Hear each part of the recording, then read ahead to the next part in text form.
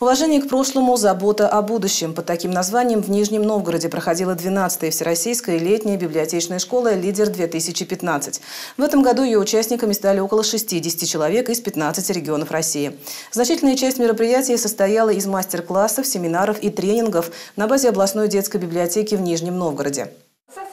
Выездная встреча участников состоялась в городце. В конференц-зале туристического комплекса «Город мастеров» детские библиотекари обсудили вопросы, касающиеся воспитания и нравственной ответственности у юных читателей, а также поделились опытом работы с литературой в современных информационных условиях. Я всегда говорю, вот наша детская библиотека, вообще детская библиотека должна быть местом встречи разных возрастов, разных возможностей, разных социальных слоев, разных интересов детей.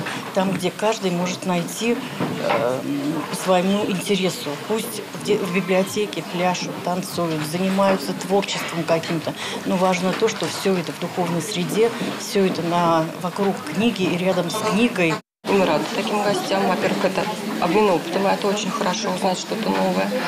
Ну и показать себя. Думаю, что у нас в Грации есть что посмотреть, есть что показать. И городец любит людей. Есть для того, чтобы что-то узнать новое, посмотреть. Мы всегда рады. Школа «Лидер» является одним из основных мероприятий Нижегородского библиотечного сообщества.